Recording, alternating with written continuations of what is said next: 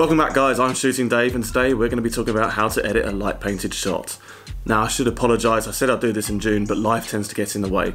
Hopefully this is my apology and you'll take some nice tips and help yourself whilst editing light painted shots in the future. Now, before we jump into this, uh, I have some tips for you. First of all, you're going to need a good tripod. We're taking long exposures here, so you need something sturdy to put that camera on. You want to use manual focus, because you don't want your camera refocusing each time you take a different exposure. You also want to use manual exposure because you want to control all of this yourself. So basically, as low at ISO you can go, a decent f-stop, so around f8, and your shutter speed, well, that's going to depend on what kind of light source you have. I use a YN300 from Yongnuo. It's a great little light, it's got these barn doors which allows you to focus the light and to minimise the spill. It also means that I know what colour the, the um, light is that comes out from it. This one has the option of being 5500 Kelvin or 3200 Kelvin. Now that brings us to the next point, you want to use manual white balance. I set mine to the colour of the light, that way I know that the light hitting the car is going to be pure white. So pro tip one, you're going to want to be able to see these images on the back of your camera, right? Well, you don't want to be touching the camera to press play and then scroll through and see the next one because you're going to be micro adjusting that camera and your shots aren't going to align. So what I do is I set the image review, that's how long the image is displayed on the back of your camera for, I set that to hold. That means that image is going to remain there until the next time I take a photograph. That way I can finish the exposure, walk around the back of the camera, check it's okay, and then carry on. And tip number two, you're going to want to use a self timer. That means if you do have to touch the camera, you have a little bit of time to get away from the camera, get into position to be able to start your exposure. Now, I use an intervalometer, which kind of negates the need for a self timer. I set my camera to bulb mode, plug the remote in, and I can choose any shutter speed I want, whether it's one second or 10 second. It also means I can change the amount of delay time I've got. So if I'm far away from the car and I need 15 seconds to walk to the car, Canon has the option of 2 or 10, so I can dial in how much I need to get into position. It's really, really handy and it means I don't have to touch the camera at all when I'm shooting because you don't want to readjust your camera and you don't want it to misalign the shots in post. Now it's always a good idea once you finish your shoot to go back through your camera and have a look to make sure you've covered every area you want. And whilst you're doing this, if you have the ability on your camera, it's a good idea to rate those images. You're going to like what you see on the back of the camera straight away because you've just shot it, you know exactly what you wanted. So it's a good idea to rate those images straight off the bat. That way, when you get into Lightroom, you can speed up your workflow and you can select the photos you want and only use those. So once you've done all that, you want to jump into Lightroom, confirm those ratings, and then you can start making those ed edits. So let's jump straight into Lightroom, and I can walk you through my steps, and then going into Photoshop, I can show you how I build up an image. Alright, now we're in Lightroom. This is where you want to confirm that the ratings that you gave each photo on your camera are correct. So basically you just want to go through, make sure there's nothing junk in there because you want to minimize the amount of layers you're taking into Photoshop. So you just go through each layer, having a look, making sure that you're absolutely happy with what you've got got on screen and there's nothing that you don't need in there. Now for this car it's a bit of a tricky car so I didn't know which layers I'd need so I took a little more than I thought necessary into Photoshop. So once you've got everything that you're happy with you want to go through and select all of them come up to the top you want to go photo edit in open as layers in Photoshop. Now this will load each layer individually into a stack in Photoshop and then we'll take it straight into Photoshop and you'll come up with something like this. You can see down here in the bottom right corner everything stacked up on top of each other. First thing I do here is I select all of the layers and I go up to edit, auto align layers and just hit OK. This will take a little bit of time but it will go through and make sure none of those layers uh, misaligned. So no matter how sturdy your tripod is, no matter how little you touch your camera, everything's going to be slightly out by a pixel or two, and that can cause some real headaches if you get into deep into the edit and you find out that one or two layers are out. You've got to go back through, find out which one is which. So I always do this at the beginning. It just it just stays a bit of a headache really. So we'll just wait for this to to go through and sort it out. It takes about two minutes. Okay, so once all of your layers have aligned, the first thing you want to do is go through and give each layer a sensible name because you want to be able to find out what it is that you're using that layer for. Um, it takes a little bit of time, but honestly, later on during the edit, this will really speed up your workflow. You'll know, go, oh yeah, I need the side, or I need the rear, I need the front, or I need a nice piece of the wheel. So this way you can find each layer really quickly. So I'm going to call this one side. You don't have to be genius with your name. You don't. We're not looking for War and Peace here. So again, this is another side, but side is better. So just oh, side better. Uh, I'd call this one side contrast. You can see how it's a little bit darker. So you want to go through and label each layer individually. Now, once you've done that, let's assume that you've done all of that. The next thing you want to do is build up a, a mask for the car. So set every single layer to lighten. Now this is going to be super bright, way too bright, but at least you can see everything around the car. So you want to turn off a few layers in here that aren't really causing this. See, this is where you want to label your layers so you can actually find what you're looking for quickly. Uh, this will be the front and rear wheels, I do believe. Let's try that one. Yeah, there you go. Right, so now you can see the whole thing. Um, what I tend to do is just stick everything into a group and then we're going to create a layer mask. Now, to do this, we're going to use the pen.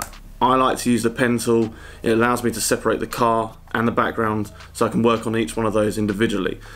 Doesn't have to be that way, might not suit your needs, but for me, it just makes it easier and I like to work in that way. So we want to zoom in as close as you can. I'd like to go around 400%.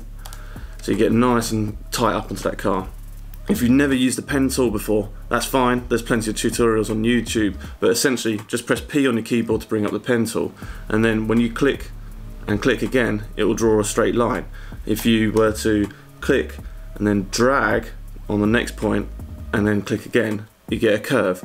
So what we basically want to do is just draw around the car. So by clicking and then click drag, click drag, you can start building up a mask. Now if you find that whilst you're doing this that the image is still too dark, in which case it probably will be in some areas, go ahead and shove an exposure layer over the top, an exposure and adjustment layer. Now you can play with things like the uh, gamma contrast so you can actually see deeper into those blacks so you know that you're getting the exact point of the car. And you want to take your time with this. You want to go through and make sure you covered every area. Be careful with spoilers uh, or any bumpers that have cutouts on those because you want to make sure you include the cutouts as well otherwise you'll be getting areas where the light won't match up. Now I've already done all of this, I've already cut the car out, uh, well given the car its own group using a layer mask and I've already, the background sits below that. So this is what my PSD for this build of this car looks like. We've got a background group and we've got a layer uh, group for the car with its own mask and this is what the mask looks like for that car. You can see I've gone around with the pen tool. Once I've completed my selection, I've gone, so we'll just do that quickly, go around, complete a selection, right click, make selection, and give it about a 0.8 of a pixel blur because nothing is 100% sharp. Once done that, you can then create a new layer mask off of that, and there you go. Now, if you're not sure on how to create a layer mask, 100%, uh, have a look on YouTube. There'll be plenty of tutorials for that. So, I like to build up the background first before working on the car. This way it gives me some sort of indication on how the car's going to look. Um, so I actually used this base exposure here. Um, for that I was stood over in this corner here holding the light above my head. You can see a bit of flare from it up there. I, I was holding the light above my head just pointing at the car and I stood still for about 10 seconds. That gives me this lovely spill light on the car but more importantly it gives me this nice shadow around the bottom as well as some caustic reflections here.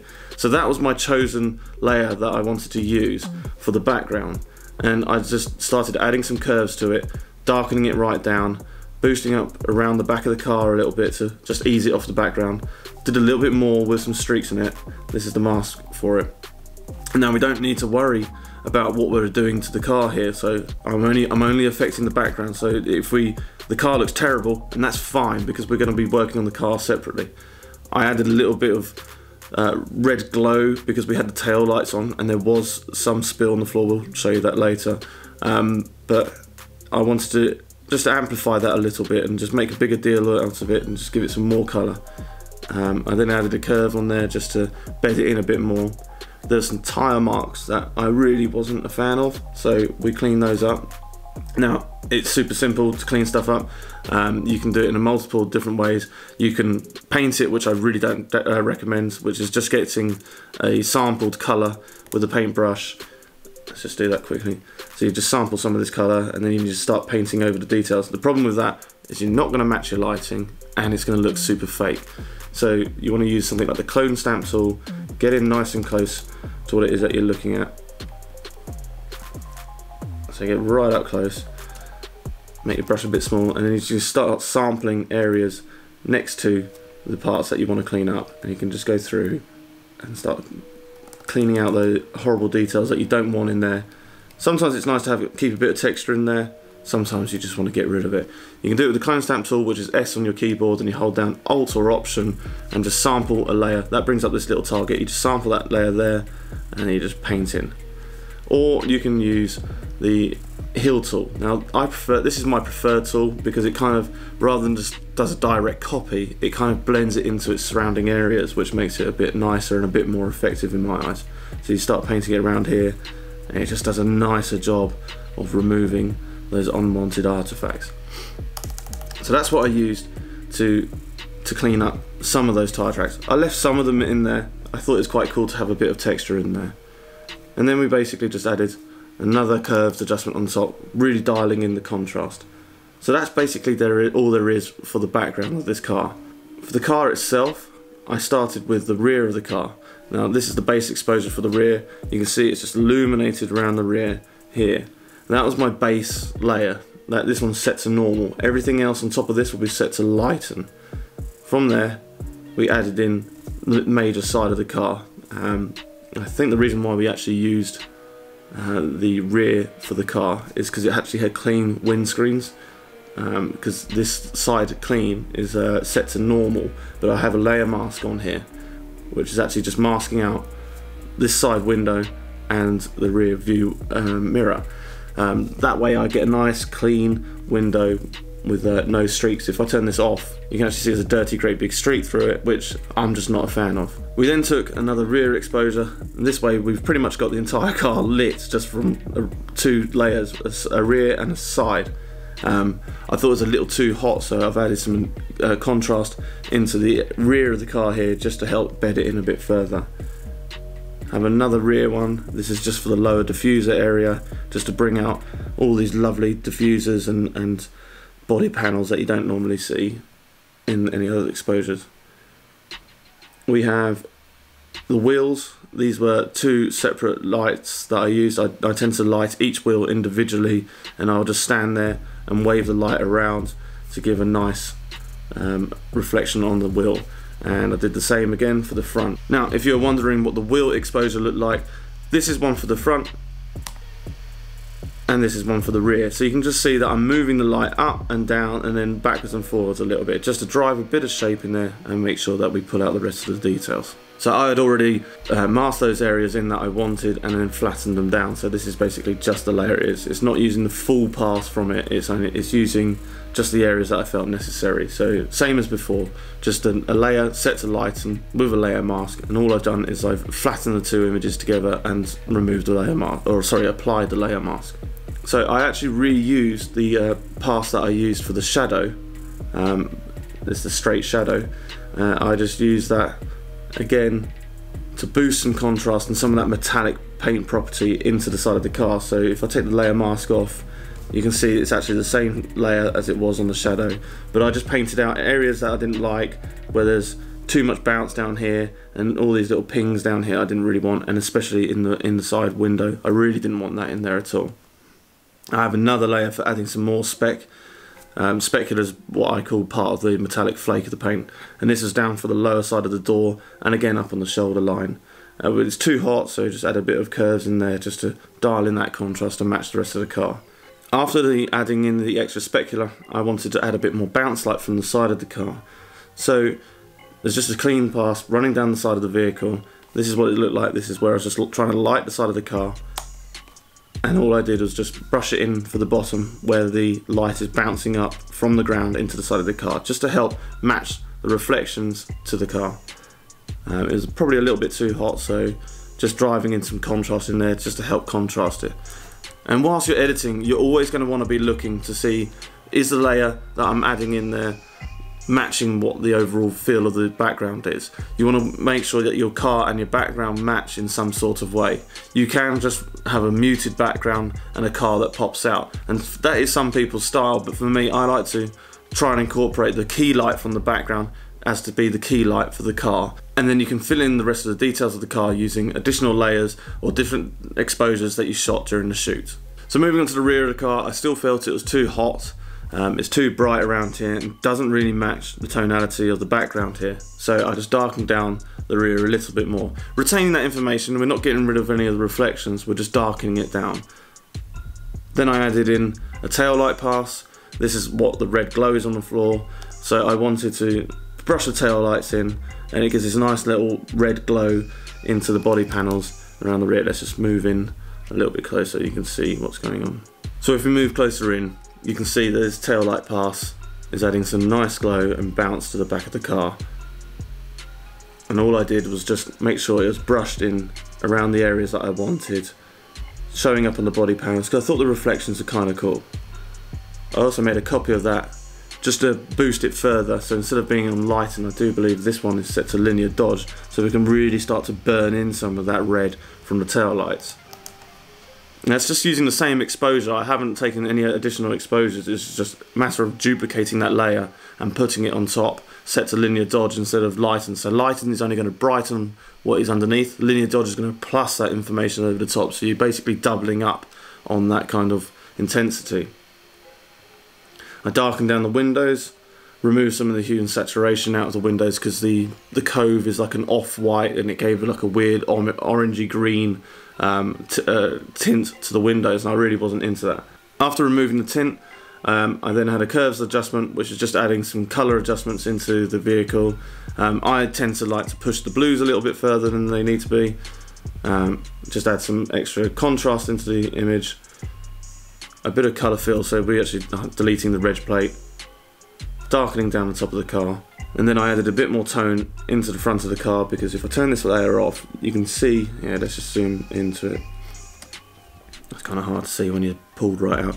You can see here it's a bit dusty and a bit grey so just adding a little bit of tone back into the into the image with the curves adjustment just set to colour and just pushing the red um, saturation up a little bit more. And then darkening it down further. And then we had a clean up layer where I just went through and removed a few unwanted reflections and pings out of the car just to help tidy it up. That's pretty much for the car. So you can see from the background to the car. And that's all I did for the car in Photoshop. I added a little flare in there, which is just a soft white brush, just to give it a bit of direction so we can pull it back. And then from there, took it back into Lightroom and I went through and just adjusted some of the sliders to my liking. I gave it a third of a stop extra exposure. I lifted the shadows, lifted the whites and pulled down the blacks a little bit just to give it that extra bit of contrast. And then we also put a slight contrast curve in as well, as well as lifting the, the blue point and bringing out some more of uh, the blues in the midtones. So this is the final product and that what is that's what it what it was when we left Photoshop. Not bad.